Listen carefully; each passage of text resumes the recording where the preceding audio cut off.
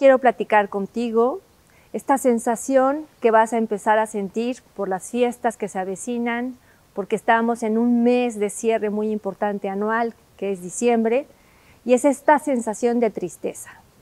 Esta sensación de tristeza que tiene que ver con saber y reconocer lo que logré, lo que no, lo que tengo, lo que ya no tengo, lo que puedo y no logré, lo que logré y no me siento satisfecho, o lo que sí logré y me siento contenta o contento. Es muy importante que en esta tristeza reconozcas que este proceso que se llama cierre de año, tú logres identificar que esa tristeza es un momento para poderlo expresar, para poderlo reconocer. Si tú no logras hacerlo, esa tristeza se vuelve más profunda y puede llegar a un rasgo de depresión.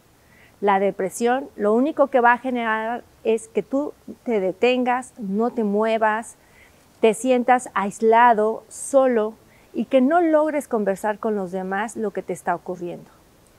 Te invitamos, yo te invito a que el día de hoy te sientes, escribas cómo te sientes, redactes qué te hace falta, escribas a los que te hace falta decirles cosas o expresarles cosas y que ese escribir se guarde y que te permita movilizarte para poderlo hacer. Hoy también es un momento de que esa tristeza te movilice a que no se convierta en depresión, ayudando a los demás. Actos de bondad, es importante que estés enfocado para dejar también de estar solamente en una circunstancia adversa contigo mismo. Un acto de bondad es también pensar en los demás. Acércate a ayudar a los demás. La tristeza es importante.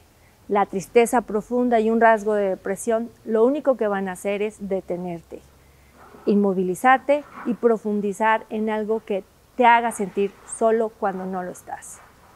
Ten felices fiestas haciendo actos de bondad.